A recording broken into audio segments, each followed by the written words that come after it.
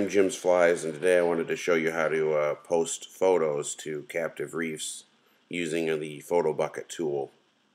So I'm looking at my members reef thread right now and uh, we're going to click reply.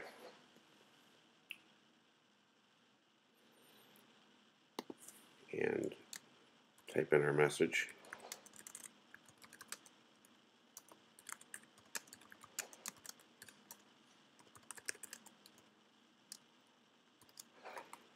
Add a couple lines in there for the photo.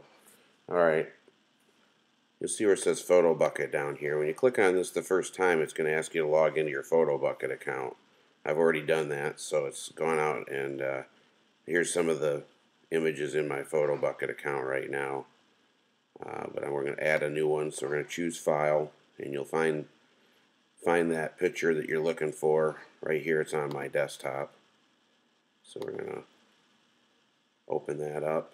This will upload it right into PhotoBucket for you. Alright, so there it is. Uh, in this box down here it says IMG, you can get your code. Just uh, click in that box, and I'm going to do a uh, right click and select copy. And come back up to your post, and you can right click again and paste.